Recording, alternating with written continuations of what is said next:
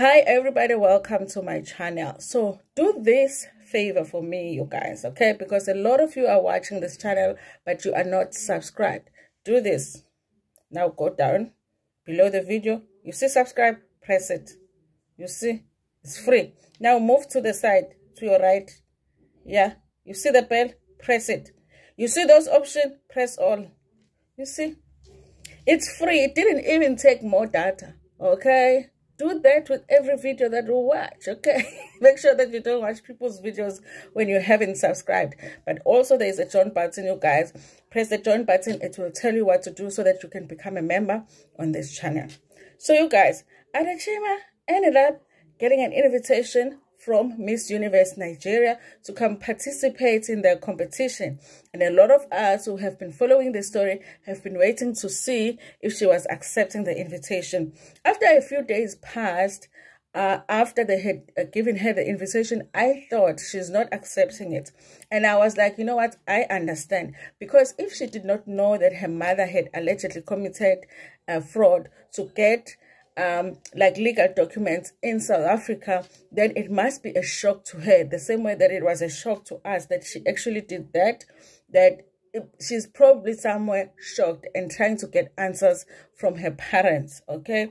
But she has accepted the invitation. There is a video I'm going to play here where she does say that she is accepted the invitation. She's going over there in Nigeria to enter Miss uh, Universe Nigeria, okay?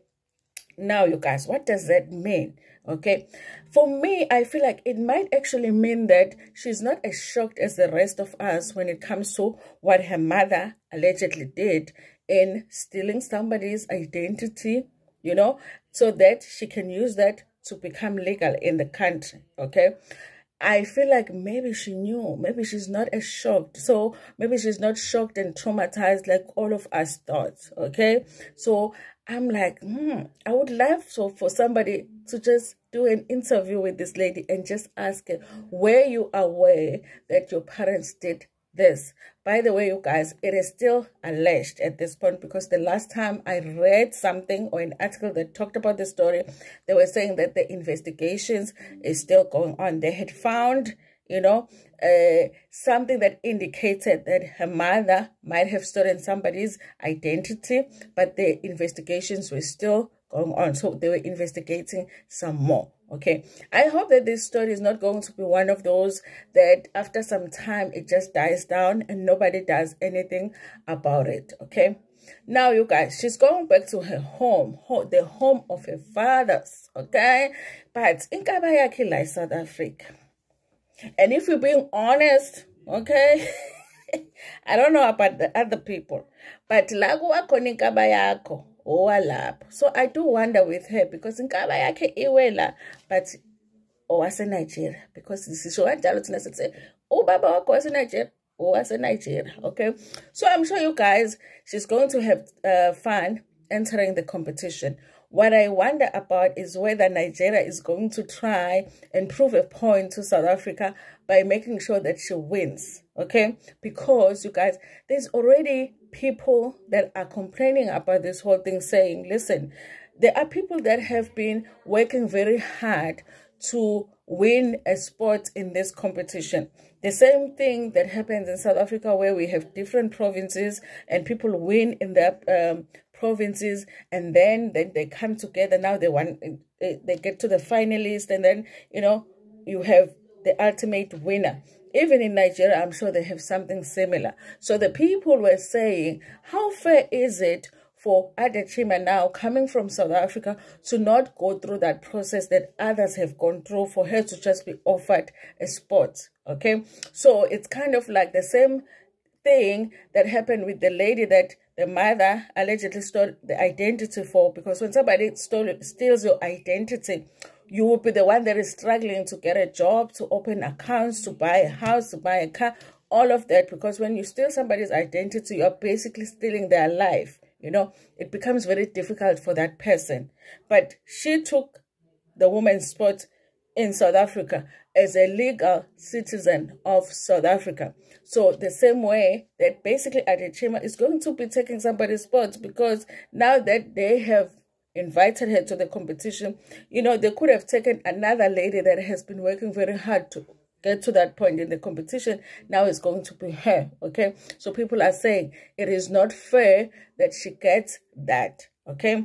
So just like in South Africa, we were split okay there were people that were saying listen she is not south african and she should not be entering any of these competitions where South Africans are supposed to enter, and other people were like, uh, no, she is South African because she was born here. Why are we fussing about it? So even in Nigeria, they also don't agree, okay? So now, what I'm wondering, because us here in South Africa, when we were questioning things, okay, we were xenophobic okay when we were questioning things and being like but if her mother is from over there and her father is from over there and her mother stole somebody's identity then she must not be south african. Okay now when we were questioning that what's what's xenophobic okay? Now i'm wondering ukuthi now with her going to nigeria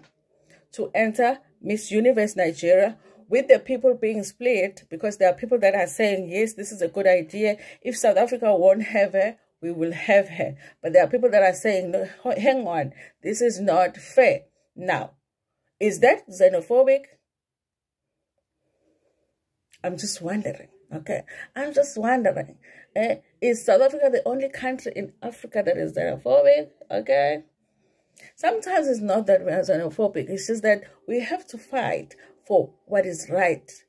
Now and then we do the right thing, okay? There are, many, there are many things where we let go. So when we decide to fight for something, it's not always, you know, xenophobia okay anyway you guys i'm going to play you a video here of her talking about how she is accepting the invitation to go to the country of her father okay la kunamadlozi akhe khona uyo Genelli competition.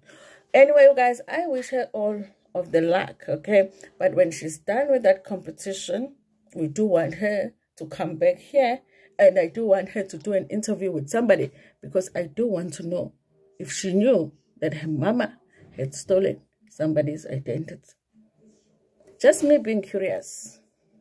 Anyway, you guys, thank you so much for watching this video. Please like it before Pumegona. Share it with your friends, with your family, and even with strangers. Nginithanda kakhulu.